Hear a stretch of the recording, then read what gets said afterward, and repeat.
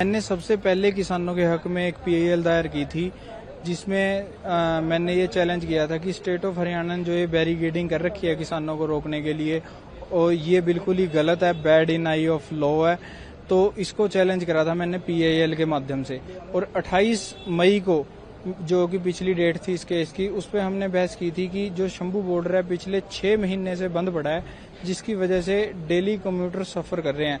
तो जज साहब ने इस पे कोग्निजेंस लेते हुए स्टेट ऑफ़ हरियाणा से एक स्टेटस सीख किया बाय वे ऑफ़ एफिडेविट तो वो एफिडेविट आज फ़ाइल हुआ कोर्ट के अंदर उसके ऊपर बहस हुई। उस बहस में स्टेट ऑफ़ हरियाणा का पॉइंट था कि हमने पब्लिक ऑर्डर मेंटेन करने के लिए बंद कर रखा है।